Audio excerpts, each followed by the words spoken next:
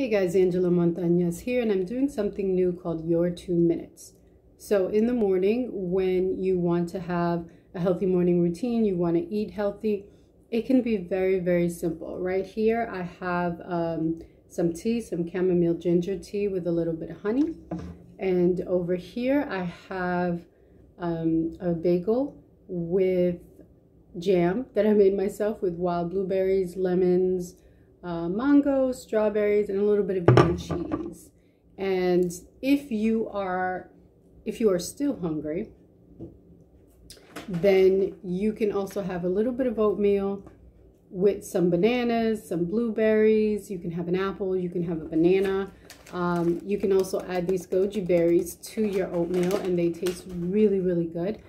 And so that is it. That those are some of the ideas that you could have in the morning. Some people prefer eggs. I'm not a very big egg person in the morning.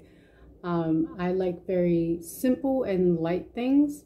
And so, yeah, those are the simple things that you can have early in the morning when you just want to eat something. If you want to have some green juice, I also have green juice.